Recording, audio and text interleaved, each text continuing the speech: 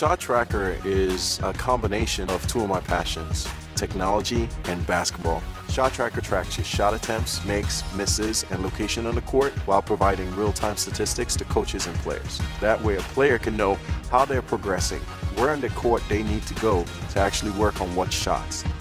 ShotTracker is made up of three components, a wrist sensor, a net sensor, and a mobile device.